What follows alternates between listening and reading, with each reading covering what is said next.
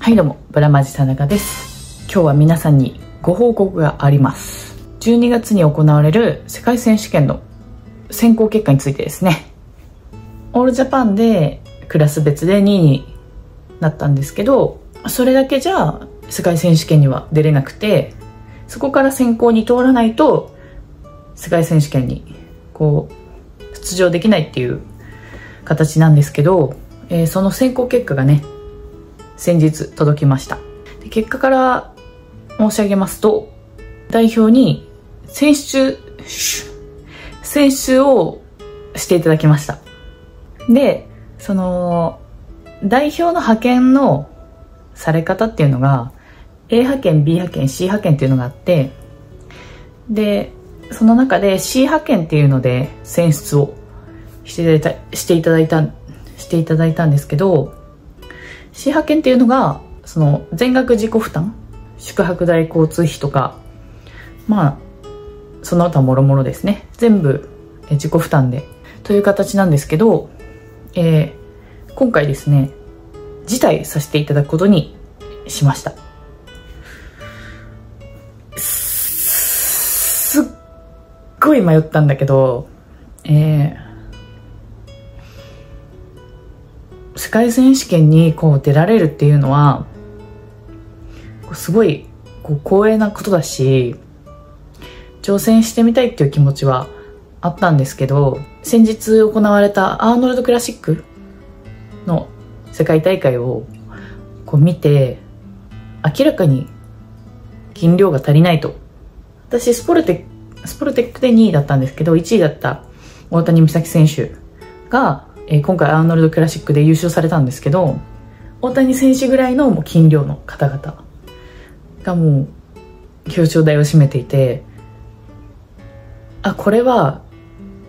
絶対に表彰台に登れないなと思いました。で私は世界に出ることを目標としているわけではないのでここで出場するよりも来年に向けてしっかり筋量を増やしていくっていう時間を設けた方が私的にはいいかなというふうに思いました。なので前向きな事態という形になります。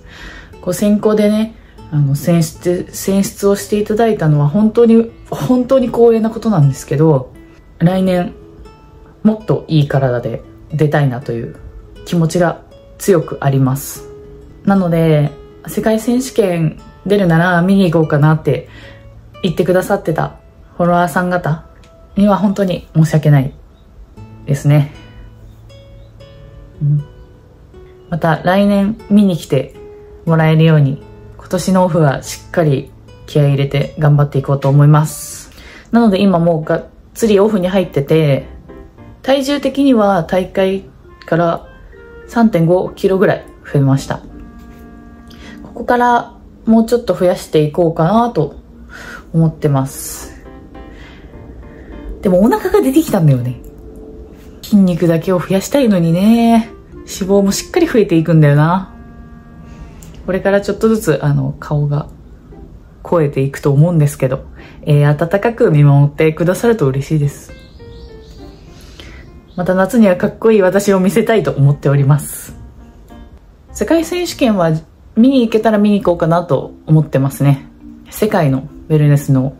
選手たちを生で見てみたいっていう気持ちはあるので、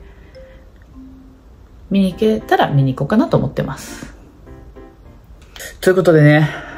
気合い入れてオフのトレーニング頑張っていこうと思います。今から明日で行ってきます。